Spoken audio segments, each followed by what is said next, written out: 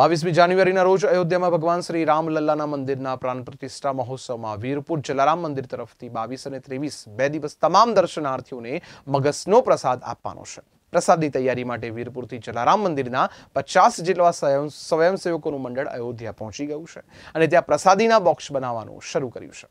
આ સ્વયંસેવકો દ્વારા જલારામ મંદિરના ગાદીપતિ શ્રી રઘુરામ બાપાની સીધી દેખરેખ હેઠળ અયોધ્યા ખાતે મગસનો પ્રસાદ બનાવી રહ્યા છે અને આ પ્રસાદ બોક્સમાં આપવાનો હોવાથી સ્વયંસેવકો દ્વારા દરરોજ પ્રસાદના બોક્સ તૈયાર કરવામાં આવી રહ્યા છે. અંદાજિત ચારેક લાખ જેટલા દર્શનાર્થીઓને મગજનો પ્રસાદ આપવાનો હોય તે બનાવવા માટે વિશાળ ટોપ, ચૂલાઓ અને વગેરે વાસણો તેમજ અનાજ કરિયાણું પહેલાથી જ વીરપુરથી અયોધ્યા પહોંચી ગયું છે. સાથે જ યાત્રાધામ વીરપુરમાં પણ રામલલ્લાના પ્રાણ પ્રતિષ્ઠાના દિવસે જ જલારામ બાપાના દર્શને આવતા તમામ ભક્તો અને ગ્રામજનોને પણ મગસના લાડુનો પ્રસાદ આપવામાં આવશે.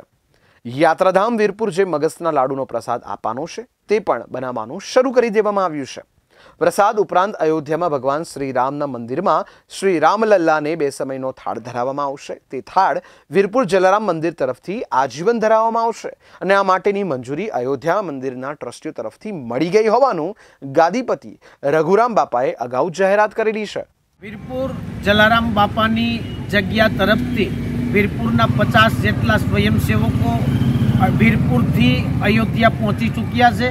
અહીં આવી રોજ દસ પંદર હજાર મગજના મહાપ્રસાદના મા પેકિંગ અત્યારે કરી રહ્યા છે.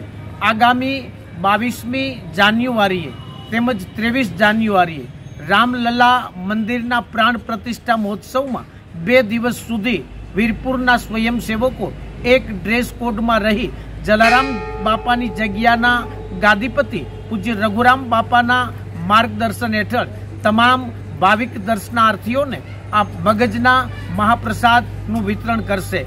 જય જલારામ.